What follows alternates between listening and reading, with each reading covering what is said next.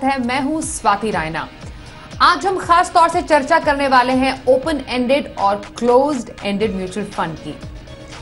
आमतौर पर आप जब किसी म्यूचुअल फंड में निवेश करते हैं, जहाँ पर आपको किसी भी समय निवेश करने की आज़ादी होती है, उन्हें ओपन एंडेड म्यूचुअल फंड कहा जाता है। इसके उलट क्लोज एंडेड म्यूचुअल फंड के अपने अलग फीचर्स होते हैं, जो आपके लिए जानने और समझने बेहद है, ज़रूरी। इन्हीं के फीचर्स पर और कौन सा फंड आपको ज़्यादा रिटर्न कमा कर दे सकता है? कहाँ पर निवेश फ़ायदेमंद है? इनकी अपनी अपनी खासियत क्या है, ये समझते हैं आज अपने इस खास शो में।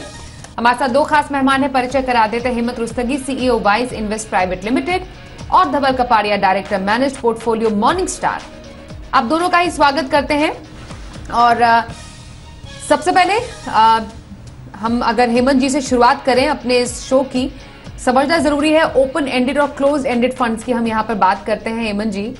तो आ, सबसे पहले बेसिक से शुरुआत करते हैं क्योंकि आ, जो आम निवेशक हैं उनको कंफ्यूजन ना हो जाए कि आखिरकार ये क्या कोई म्यूचुअल फंड का कोई नया प्रकार है। तो आपसे समझेंगे ओपन एंडेड जो म्यूचुअल फंड्स हैं वो कैसे होते हैं? स्वाति देखिए हम यहाँ पे बात कर रहे हैं कि स्ट्रक्चर की। जनरली uh, हम बात करते हैं कि किस तरह के फंड हो इक्विटी में किस तरह के फंड हो डेट में किस तरह के फंड हो हाइब्रिड में। अभी हम बात कर रहे हैं कि म्यूचुअल फंड की जो स्कीम्स है उनका स्ट्रक्चर क्या है। जैसा आपने बिल्कुल सही कहा क्लोज एंडेड फंड भी है उसमें ओपन एंडेड फंड भी है। Uh, अगर मैं ओपन एंडेड फंड की बात करूँ तो बेसिकली वो फंड्स जो आपको ये फ्लेक्सिबिलिटी देते हैं कि उन फंड्स में कभी भी आप अपना पैसा निवेश कर सकते हैं और कभी भी अपना पैसा आप रिडीम करके वहाँ से निकाल सकते हैं। और जिस प्राइस पे आप इन्वेस्ट करते हैं और जिस प्राइस पे आप पैसा बाहर निकालते हैं, वो होता है एनईवी लिंक्ड तो बेसिकली मतलब क्या हुआ कि आपके इन्वेस्टमेंट की जो वैल्यू है उस दिन, उसके हिसाब से या तो आप पैसा निकाल सकते हैं या तो आप पैसा इन्वेस्ट कर सकते हैं। इसमें सबसे बड़ी फ्लेक्सिबिलिटी क्या होती है कि अगर आप एक डिसिप्लिन तरीके से इन्वेस्ट करना चाहें आपको ये फ्लेक्सिबिलिटी चाहिए कि कभी भी हमें पैसा चाहिए तो हम निकाल पाए तो ओपन एंडेड फंड आपको वो फ्लेक्सिबिलिटी देते हैं। यानी इसमें कोई एक कोई फिक्स मेच्योरिटी नहीं होती है ये ओपन एंडेड मतलब ये फंड हमेशा रहता है। आपको अपना टाइमिंग डिसाइड करना है कि कब आपको इन्वेस्ट करना है, किस तरीके से करना है और कब आपको उस फंड से निकलना है। तो और ये भी कहना चाहूँगा यहाँ पे कि मेजोरिटी ऑफ़ द स्कीम जो है इंडस्ट्री में वो ओपन एंडेड फंड है क्योंकि कहीं ना कहीं जो फ्लेक्सिबिलिटी इन्वेस्टर को चाहिए, वो यहाँ पे मिलती है। ओपन एंडेड फंड की बात हुई धवल हमारे साथ है शो में शामिल हो चुके हैं। क्लोज एंडेड फंड क्या ओपन एंडेड फंड के एकदम ऑपोजिट होते हैं? आ, ये जानेंगे। और जो यूजुअली हम एनएफओस देखते हैं न्यू फंड ऑफर्स देखते हैं आ, उसमें यूजुअली कहा जाता है कि एक तय अवधि में ही आप निवेश कर सकते हैं। आ, तो क्या हम माने क्लोज एंडेड फंड्स एक पर्टिकुलर पीरियड में ही क्योंकि निवेश होता है इसलिए उनके जो फीचर्स के लिहाज से या उनके निवेश के लिहाज से वो एक तर, उसके निवेश करने का तरीका थोड़ा अलग है ओपन एंडेड फंड से? आ, हाँ बिल्कुल। नॉर्मली जो हम देखते हैं कि क्लोज एंडेड फंड जो है उसमें दो चीज़ें होती है बहुत ज़रूरी चीज़ें होती है। नॉर्मली एक शॉर्ट पीरियड के लिए या शॉर्ट अवधि के लिए वो आपको इन्वेस्ट निवेश करना है या इन्वेस्ट करना है तो एक शॉर्ट पीरियड के लिए नॉर्मली ओपन रहते हैं। और जो दूसरा जो उसका मेरे हिसाब से जो ज़्यादा इंपॉर्टेंट फीचर है क्लोज एंडेड फंड्स का कि आप जब चाहिए आप एग्जिट नहीं कर सकते। तो इसका ये मतलब होता है कि समझ लीजिए मेरे हिसाब से जो ज़्यादा इंपॉर्टेंट फीचर है क्लोज एंडेड फंड्स का कि आप जब चाहिए आप एग्जिट नहीं कर सकते। तो इसका ये मतलब होता है कि समझ लीजिए थ्री इयर्स या five years close ended funds होते हैं। तो ये जो होल्डिंग पीरियड है उस पीरियड में आप आ, वो फंड से एग्जिट नहीं कर पाते। तो इससे मतलब एक तो आप आपकी लिक्विडिटी कम हो जाती है लेकिन इसका जो इसके जो कुछ फ़ायदे हैं वो है कि आप एक डिसिप्लिन वे से आपका इन्वेस्टमेंट वो फंड में यू नो आप निवेश करते हैं और वो फंड में एक टाइम होराइजन के हिसाब से आप उसको यू नो कंटिन्यू कर सकते हैं इन्वेस्टमेंट के लिए। काफ़ी बार हम ये देखते हैं कि इन्वेस्टर्स जो मार्केट के उतार चढ़ाव होते हैं, उसके यू नो उसके मुताबिक काफ़ी बार फंड से एग्जिट करना चाहते हैं या फिर जो फियर फैक्टर है वो आ जाता है तो वो गलत टाइम पे एग्जिट कर देते हैं। जब मार्केट करेक्ट होते हैं तभी काफ़ी लोग एग्जिट कर देते हैं मार्केट से। तो ये जो फैक्टर्स है, वो क्लोज एंडेड फंड्स में आपके इन्वेस्टमेंट को इम्पैक्ट नहीं करेंगे क्योंकि आप एग्जिट नहीं कर पाते। तो एक हिसाब से आपका जो इन्वेस्टमेंट है, वो एक डिसिप्लिन वे में जो आपका टाइम होराइजन है, वो हिसाब से आप इन्वेस्ट कर सकते हैं। दूसरा जो फ़ायदा है फंड मैनेजर को ये फ़ायदा है कि उसे भी पता है कि अभी आप यू नो तीन या पाँच साल या जो भी फंड की यू नो टाइम पीरियड है या यू नो अवधि है, वो उसी में आप इन्वेस्टेड रहेंगे तो वो भी अपनी इन्वेस्टमेंट्स वो हिसाब से प्लान कर सकते हैं। Absolutely hmm. यहाँ पर एक बात हेमंत जी मैं आपसे समझूँगी क्योंकि एक मच्योरिटी अवधि तक आप इन फंड से निकल नहीं सकते जब हम क्लोज एंडेड फंड की बात करते हैं। नाम से ही आसानी से समझ आ रहा है ओपन एंडेड फंड और क्लोज एंडेड फंड ये तो हमारे सामने बात क्लियर हो गई। कुछ एग्जाम्पल्स के ज़रिए हेमंत जी आप बता सकते हैं कैसी कैसी स्कीम्स होती हैं जो कि क्लोज एंडेड फंड्स में आती हैं। इनफैक्ट अगर हम इक्विटी में ही देखें ईएलएसएस e जिसमें तीन साल का लॉक इन होता है आपको कंपलसरी तीन साल रहना ही रहना है क्या हम उसको क्लोज एंडेड फंड मानेंगे? क्योंकि कई लोगों के दिमाग में ये डेफिनेटली सवाल उठ रहा होगा। आ, कुछ सोल्यूशन ओरिएंटेड फंड्स होते हैं रिटायरमेंट ओरिएंटेड फंड्स या फिर चिल्ड्रन ओरिएंटेड फंड्स जिनमें पाँच साल का लॉक इन होता है क्या उन्हें भी क्लोज एंडेड फंड्स माना जाएगा? बेसिकली uh, जिन फंड्स में एक लॉक इन पीरियड होता है और उसके अलावा ऐसी स्कीम्स क्लोज एंडेड फंड के अंतर्गत आती हैं। स्वाति आई थिंक बहुत इंपॉर्टेंट सवाल है ये। Uh, क्योंकि हम हमने देखा कि किस तरीके से जो स्ट्रक्चर है क्लोज एंडेड फंड और ओपन एंडेड फंड्स का अगर हम बात करें कि किस कैटेगरी स्कीम जो है वो इस इस स्ट्रक्चर में आती है पहले तो देखिए, दो जो प्रोमिनेंट कैटेगरीज हैं, वो है बेसिकली फिक्स्ड मेच्योरिटी प्लान और टारगेट मेच्योरिटी फंड यहाँ पे हमने देखा है कि मेजोरिटी जो स्कीम होंगी, सारी की सारी जो स्कीम है, क्योंकि कॉन्सेप्ट ही ऐसा है। अगर हम फिक्स मेच्योरिटी की बात करें तो फिक्स मेच्योरिटी में फंड मैनेजर क्या करते हैं? आपसे पैसा मोबिलाइज करते हैं। फिर, और अपनी जो ड्यूरेशन होता है फंड का, उसके हिसाब से सिक्योरिटी चुनते हैं। या तो उनकी मेच्योरिटी इतनी होती है, या फिर बची मेच्योरिटी इतनी होती है। उसका फ़ायदा यह है कि वो आपको कहीं ना कहीं एक प्रोडिक्टेबल रिटर्न देते हैं, जो मार्केट में वॉलिटिलिटी होती है इंटरेस्ट रेट से, उससे उससे आपको बचाते हैं। उसी तरीके से अगर हम देखें टारगेट मेच्योरिटी की अगर हम बात करें तो ये पैसिवली मैनेज डेट फंड्स हैं जो बेसिकली एक इंडेक्स डेट इंडेक्स को ट्रैक करते हैं। यानी जब वो मेच्योर होगा उसकी सिक्योरिटीज तब आपकी स्कीम भी मेच्योर होगी। तो ये प्रोमिनेंट दो कैटेगरी आपको यहाँ पे देखने को मिलेंगी। और ये I think important as a investor समझना कि जो स्ट्रक्चर है ये सिर्फ़ क्लोज एंडेड स्ट्रक्चर में ही काम करेगा, ये ओपन एंडेड में स्ट्रक्चर काम नहीं कर सकता। हालाँकि जो टारगेट मेच्योरिटी है, उसको ओपन एंडेड फंड कहते हैं, लेकिन वो खत्म तब होता है जब उसकी जो बॉन्ड है, वो मेच्योर हो जाते हैं। दूसरा आपने कहा कि अगर हम मान लीजिए एल में डालते हैं या फिर हम सोल्यूशन ओरिएंटेड फंड्स में डालते हैं, वहाँ पे आपके लिए लॉक इन पीरियड है एक तो इसलिए कि आपको टैक्स सेविंग अगर होती है वहाँ पे तो डेफिनेटली अगर हम एल की बात करें तो तीन साल का मैंडेटरी लॉक इन पीरियड है आपका। लेकिन स्ट्रक्चरली जो फंड है, ज़्यादातर जो फंड है, वो ओपन एंडेड है। यानी वो बाकी इन्वेस्टर्स से पैसा ले सकते हैं, जिन इन्वेस्टर्स ने तीन साल कंप्लीट कर दिए, वो एग्जिट कर सकते हैं। लेकिन एज एन इन्वेस्टर आप, क्योंकि आप टैक्स बेनिफिट ले रहे हैं तो आपके लिए वो लॉक इन पीरियड है। तो थोड़ा सा फ़र्क है। स्ट्रक्चर ओपन एंडेड है, लेकिन वो वो लॉक इन पीरियड है। वो एक क्लोज एंडेड फंड नहीं है। सिमिलरली अगर सोल्यूशन ओरिएंटेड फंड्स की बात करें, मान लीजिए आप रिटायरमेंट किसी फंड में डालते हैं तो वहाँ पे भी अगेन टैक्स बेनिफिट अगर आपको मिलता है तो आपके लिए वो लॉक इन पीरियड है। और ऑब्वियसली वो तभी काम करेगा जब आप उसमें बने रहेंगे। तो ये थोड़ा सा फ़र्क है बट जैसा मैंने कहा एक और कैटेगरी है जो क्लोज एंडेड में आती है इवन इक्विटी फंड आपको मिलेंगे जो थीमेटिक फंड्स होते हैं। अगर मान लीजिए फंड मैनेजर को लगता है या फंड हाउस को लगता है कि अभी स्मॉल uh, कैप में डालने से फ़ायदा होगा और ये पैसे को अगर लॉक करें तो इसमें अच्छा रिटर्न मिल सकता है। या कोई ऐसा थीम है जो उनको लगता है कि अगले तीन या पाँच साल में वो अच्छे से काम करेगा तो आपको इक्विटी फंड भी मिलेंगे जो जनरली थीमेटिक फंड होंगे। तो इस चार, तीन, दो या तीन कैटेगरी के फंड जो आपको क्लोज में मिलेंगे। और जैसे मैंने कहा लॉक इन पीरियड थोड़ा डिफरेंट है क्लोज एंडेड स्ट्रक्चर से। और इसी से धवल, एक बात जो समझ में आ रही कि जो दोनों ही स्कीम्स में फ़र्क है, वो लिक्विडिटी का बहुत बड़ा फ़र्क है। अब जैसे हम ओपन एंडेड फंड्स में देख रहे हैं लिक्विडिटी बहुत हाई मानी जाती है। क्लोज एंडेड फंड में लॉक इन पीरियड क्योंकि है? उस अवधि तक ही आप निवेश कर सकते हैं तो लिक्विडिटी बेहद ही कम है। ये एक बड़ा क्राइटेरिया हम मान सकते हैं किसी निवेशक के लिए जिसको एक ओपन एंडेड या क्लोज एंडेड फंड को चूज़ करना है। लिक्विडिटी को किस लिहाज से समझे हम यहाँ पर? दोनों ही जब फंड्स के हम कंपैरिजन की बात करते हैं तो। बिल्कुल, एक समझ लीजिए, आपको लग रहा है पर्टिकुलरली डेट साइड में जब हम इन्वेस्ट करते हैं, तभी आपको लग रहा है कि आ, मुझे करीबन समझ लीजिए एक छह महीने या एक साल में या कभी भी पैसा यू नो लग सकता है जो मैं इन्वेस्ट कर रहा हूँ तो मुझे विड्रॉ करके मेरे कोई गोल्स है आ, उसका टाइम पीरियड थोड़ा अनसर्टन है या सर्टन भी टाइम पीरियड हो तो उस हिसाब से फिर लिक्विडिटी काफ़ी ज़रूरी हो जाती है कि यू नो मुझे यू नो घर खरीदना है समझ लीजिए और मैं प्रॉपर्टी देख रहा हूँ। अभी तीन महीने में भी यू नो कोई मैं आइडेंटिफाई कर सकता हूँ या छह महीने में भी आइडेंटिफाई हो सकती है। अभी मुझे पैसे की ज़रूरत पड़ सकती है। तो इस सिचुएशन में फिर आपको ओपन एंडेड स्ट्रक्चर में ही जाना चाहिए।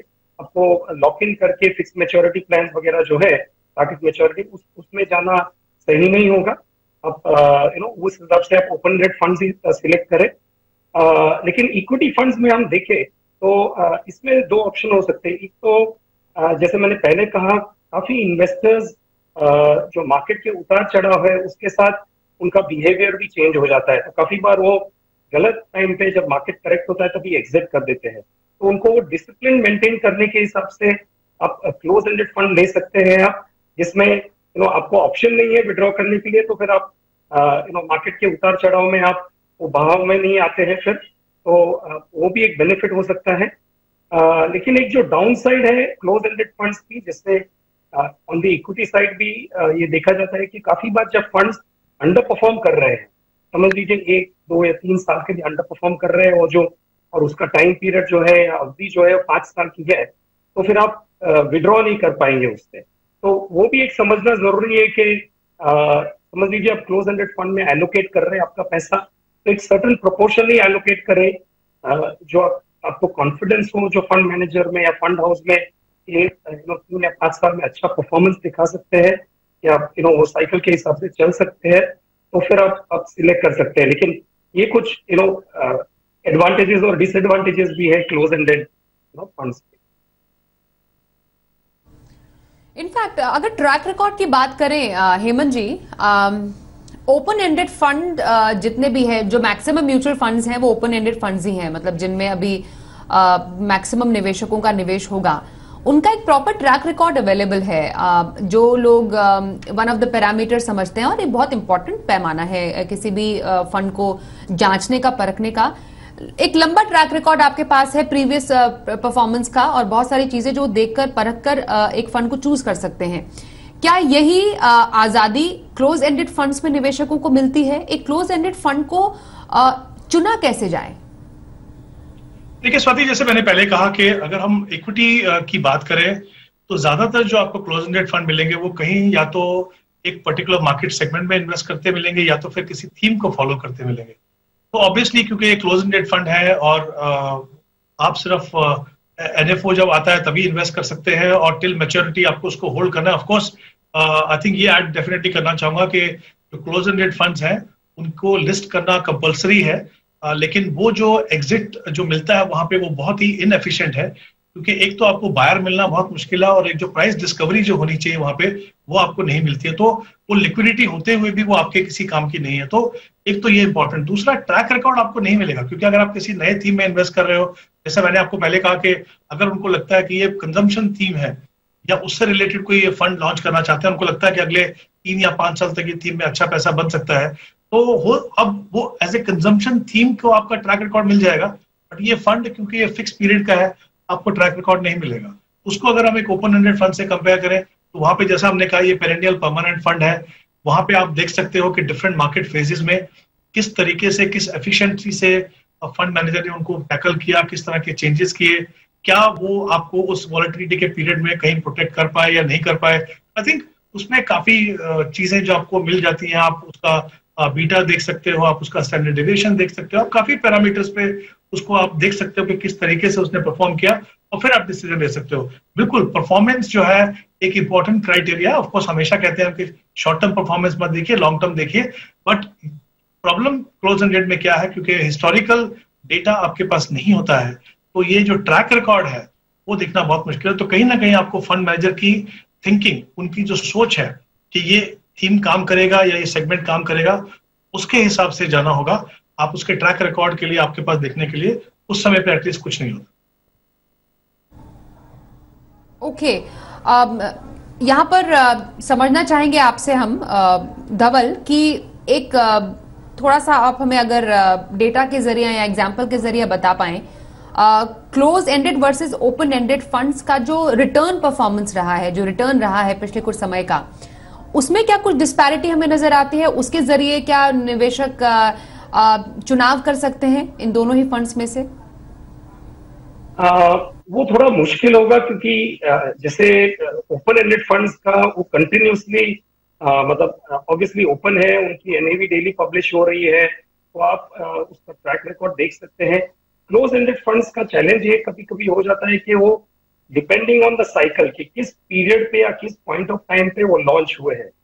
तो समझ लीजिए यू नो मार्केट पीक के आसपास लॉन्च हुए जब मार्केट पीक लेवल्स पे है, समझ लीजिए कोई small and mid cap fund है जो पीक लेवल पे लॉन्च हुआ है क्लोज एंडेड फंड तो उसका फिर ट्रैक रिकॉर्ड आपको अच्छी तरह यू नो अच्छी तरह से एनालिसिस करना थोड़ा मुश्किल हो जाता है क्योंकि वो you know at a sudden point of time in the cycle वो लॉन्च हुए हैं। तो आपको एग्जैक्टली exactly और और जैसे हम बात कर रहे हैं कि हेमंत जी ने भी कहा कि ज़्यादा करके इक्विटी साइड में जो फंड्स आ रहे हैं वो आजकल ओपन एंडेड फंड्स आ रहे हैं। तो आपके पास जो यूनिवर्स है क्लोज एंडेड फंड्स का, आपको एनालिसिस करने के लिए या स्टडी करने के लिए वो थोड़ा कम है।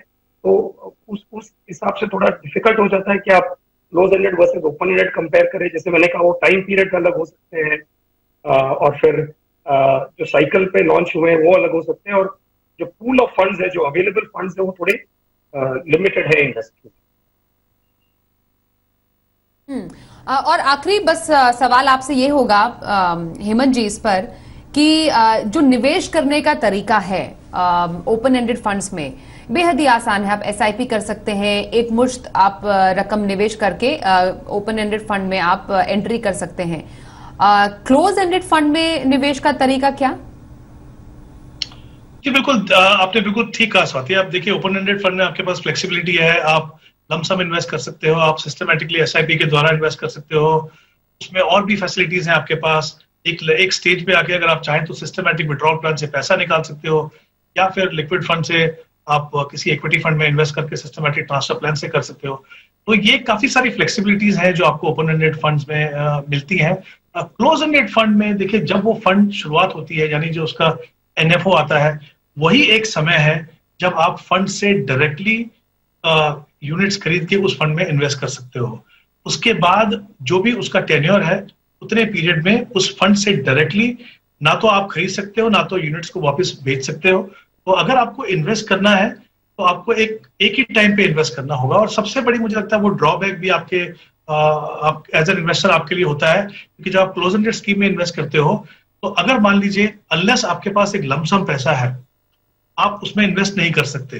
दूसरी बात अब लमसम इन्वेस्ट करते हो तो कहीं ना कहीं एक तरीके से वो मार्केट टाइमिंग होता है। क्योंकि अगर आप किसी थीम को फॉलो कर रहे हो, या किसी सेगमेंट में आप इन्वेस्ट कर रहे हो, जैसे धवल ने बिल्कुल सही कहा कि अगर मान लीजिए आप एक पर्टिकुलर कैटेगरी के फंड में इन्वेस्ट कर रहे हो तो वहाँ पे अगर वो आपके पास पैसा नहीं है लमसम और वो फिर कहीं ना कहीं मार्केट टाइमिंग हो जाएगा। अगर पीक पे आपने पैसा इन्वेस्ट किया, जैसा उन्होंने कहा तो फिर आपको रिटर्न नहीं मिलेगा। तो ये एक एक बड़ा इशू है। और अगर मान लीजिए आप सिस्टमेटिकली किसी थीम में इन्वेस्ट करना चाहते हो क्लोज एंडेड में तो भी आप नहीं कर पाएँगे। तो मुझे लगता है काफ़ी सारी लिमिटेशन है स्पेशली जब हम क्लोज एंडेड फंड में इन्वेस्टमेंट की बात करते हैं। ओके चलिए तो ओपन एंडेड और क्लोज एंडेड फंड्स की बात हुई। एक ब्रेक के लिए यहाँ पर रुकेंगे और ब्रेक के बाद आज हमारे म्यूचुअल फंड गाइड के खास सेगमेंट में आपको बताएँगे एनएफओ यानी न्यू फंड ऑफ़र में निवेश सही या नहीं। बने रही हमारे साथ। म्यूचुअल फंड गाइड में आज हम आपको बताएँगे एनएफओ यानी न्यू फंड ऑफ़र। इसमें निवेश करना सही है कि नहीं है? हमारे साथ लगातार खास मेहमान बने हुए हैं Hemant Rustagi, wise invest private limited से, और मॉर्निंग स्टार से Dhaval Kapadia.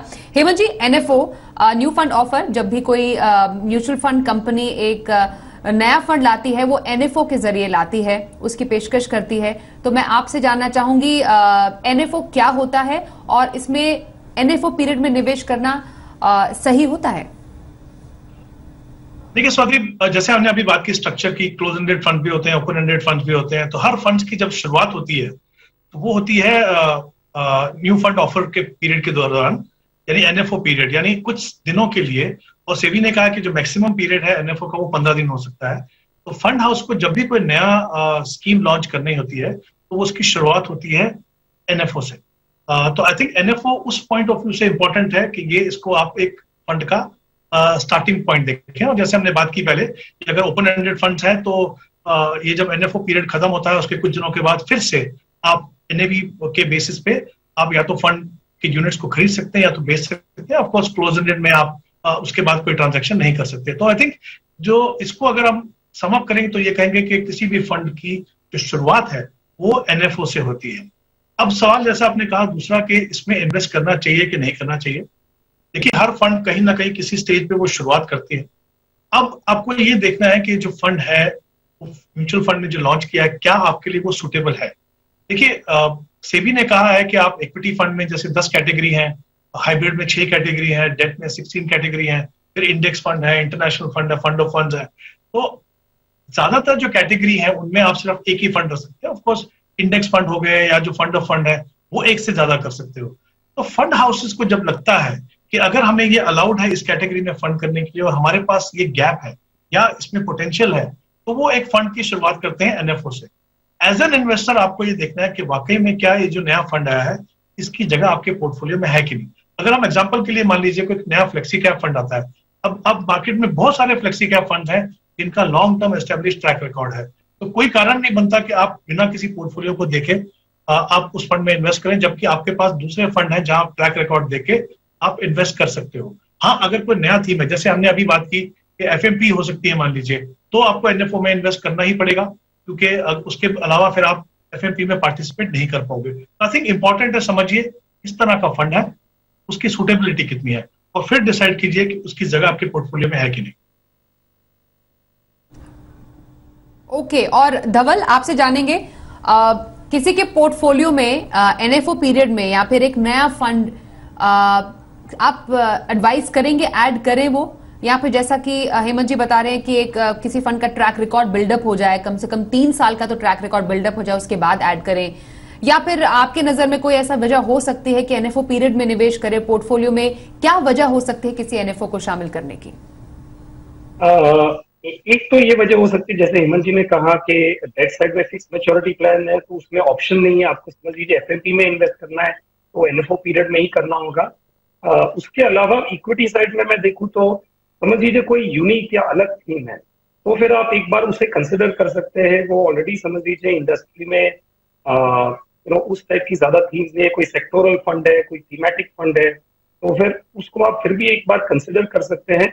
लेकिन ये देखना ज़रूरी है उसके साथ, क्योंकि जैसे हमने कहा कि एनएफओ है तो उसका ट्रैक रिकॉर्ड नहीं है। तो आप एक चीज़ जो जाँच सकते हैं या एनालाइज कर सकते हैं कि जो फंड मैनेजर है, उसका प्रीवियस ट्रैक रिकॉर्ड कैसे रहा है? वो दूसरे फंड समझ लीजिए, वो मैनेज नॉर्मली ऐसे होगा कि वो दूसरे फंड भी मैनेज कर रहे होंगे, वो फंड हाउस में और कहीं पे तो उस, वो जो फंड मैनेज कर रहे हैं ऑलरेडी उनका ट्रैक रिकॉर्ड कैसे रहा है तो वो एक आप कंसिडर कर सकते हैं but normally I would think it is more of an exception than a rule के अब एक्सेप्शनल जो केसेस है, या जो नई थिंग्स एकदम है तो कोई अलग सेक्टोरल फंड लॉन्च हुए हैं, उसको आप कंसिडर कर सकते हैं अदरवाइज़ जनरली हम सोचते हैं कि जो आपका पोर्टफोलियो का जो कोर होल्डिंग्स है या जो मेन होल्डिंग्स है पोर्टफोलियो में, उसमें आप जो you know tried and tested जो ट्रैक रिकॉर्ड के साथ जो फंड्स है, उसी में इन्वेस्ट करें तो बेहतर हो